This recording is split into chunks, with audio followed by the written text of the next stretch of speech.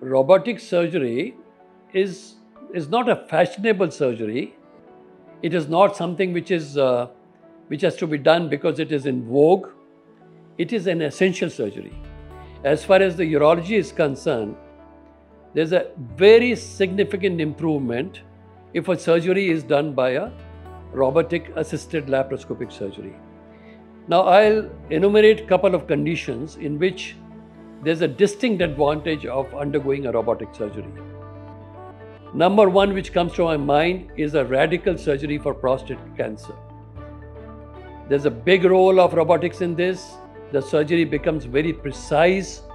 We are able to safeguard the nerves as far as the impotency is concerned.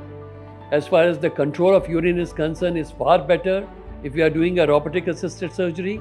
So in cancer, prostate, I think it is number one that we should do a robotic surgery. Number two, if we are doing a surgery in a case of a partial removal of the kidney because of the tumor, it has a big role.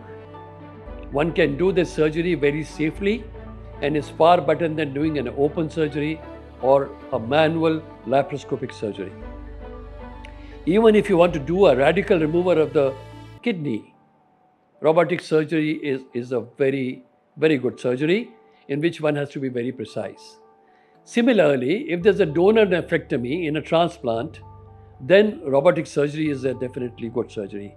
And things are evolving. So I think one should take robotic surgery as a basic necessity in the armamentarium of a urologist and everyone who has to undergo a surgery, he must evaluate and consider robotic surgery for urinary problems.